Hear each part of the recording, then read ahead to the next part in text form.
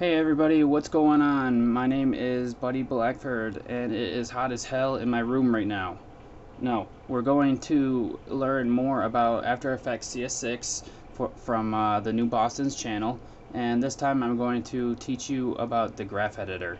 And in this tutorial I'm going to explain the graph editor and explain the buttons. I wanted to let you guys know that I uh, checked my computer earlier because it was going slow, which you can't tell on the tutorials, but I was experiencing some performance issues, so I opened it up and noticed that it was super dusty and dust was caked on. So I wanted to just do a quick shout out to everybody to check your computer and make sure you dust it out. It'll it'll uh, expand the lifetime. It won't expand it. It'll it'll keep the lifetime up higher than it would be if it was all dusty. So just check it out and dust it out on a regular basis. Um, let's get to uh, the tutorial now. So the graph editor is this button right here. I added a rotation to my uh, tuna can.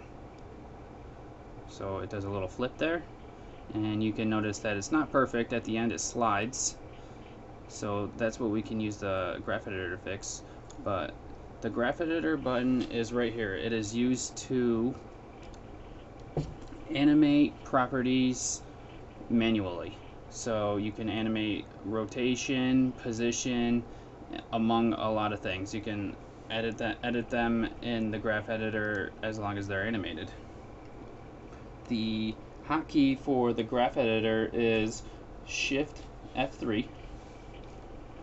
So let's uh, Shift F3, although I, I feel like it's easier to just click on it so that uh, you don't have to take your hand off the mouse. I don't really don't like using uh, two-handed shortcuts.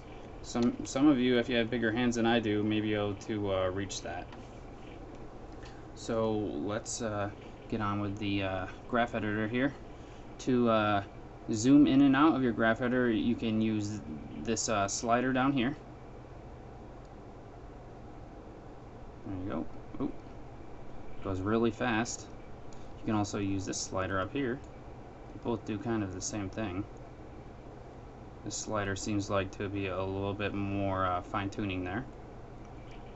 And you can move around from left to right with uh, with this uh, slider down here. On the graph, you um, show animated properties is going to be unselected at first, so I'll unselect that so you guys can start off in the same position I am. On the graph, x-axis equals time. So going from left to right is time, and it's going by uh, frames. As you can see up here, the, the frames up and down is the y-axis and that is your values. You can hover over the uh, motion path here to see which type of, of uh, property you have selected and which layer you have selected. So I've got tuna selected, it's rotation, and then the value right now is 164.32 degrees. So if I go to this spot right here, that's 164.32 degrees around around that around that spot. You can hover over top of a keyframe to see the time that the keyframe is at and among the and the same things like uh, the rotation and the degrees and everything like that the values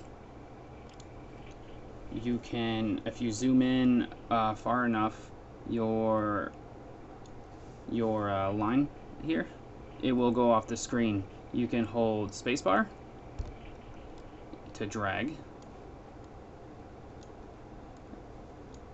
As you can see, while I'm uh, dragging the the graph was automatically adjusting to the height watch if you watch these degrees right here, it automatically adjusts to the height of your line. So uh, you can see now that the uh, degrees are changing there. That was the autosave that popped up. It's going to do that from time to time. So there you go with that. And I can go over the buttons with you. So I'm going to zoom back out. And the buttons down here. This right here is the uh, choose which properties are shown in the graph editor button.